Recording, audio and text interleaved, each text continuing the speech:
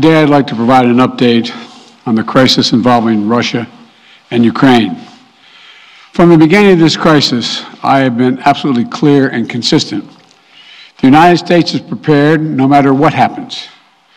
We are ready with diplomacy to, to be engaged in diplomacy with Russia and our allies and partners to improve stability and security in Europe as a whole. And we are ready to respond decisively to Russian attack on Ukraine, which is still very much a possibility. Though all the events of the last few weeks and months, this has been our approach, and it remains our approach now. The Russian defense minister reported today that some military units are leaving their positions near Ukraine. That would be good, but we have not yet verified that. We have not yet verified the Russian military units are returning to their home bases. Indeed, our analysts indicate that they remain very much in a threatening position. And the fact remains right now, Russia has more than 150,000 troops encircling Ukraine and Belarus and along Ukraine's border. An invasion remains distinctly possible. The United States and NATO are not a threat to Russia. Ukraine is not threatening Russia. Neither the U.S. nor NATO have missiles in Ukraine. We do not, do not have plans to put them there as well. We're not targeting the people of Russia. We do not seek to destabilize Russia. To the citizens of Russia, you are not our enemy.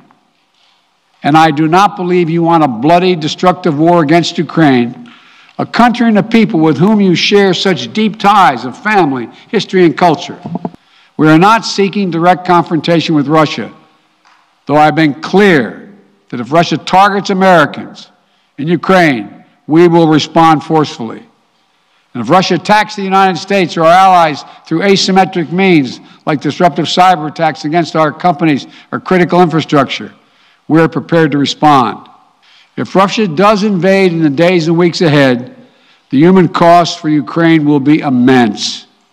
And the strategic cost for Russia will also be immense. If Russia attacks Ukraine, it'll be met with overwhelming international condemnation the world will not forget that Russia chose needless death and destruction. Invading Ukraine will prove to be a self inflicted wound.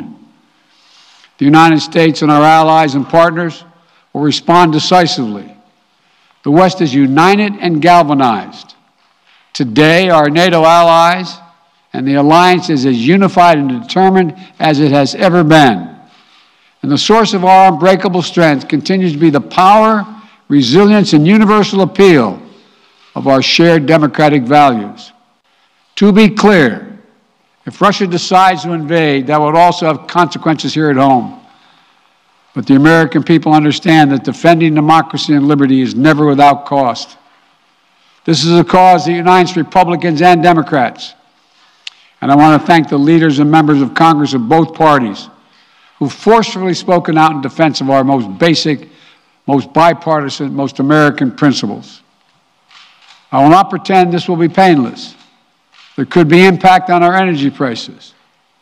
So we are taking active steps to alleviate the pressure on our own energy markets and offset raising prices.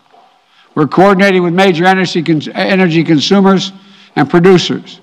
We're prepared to deploy all the tools and authority at our disposal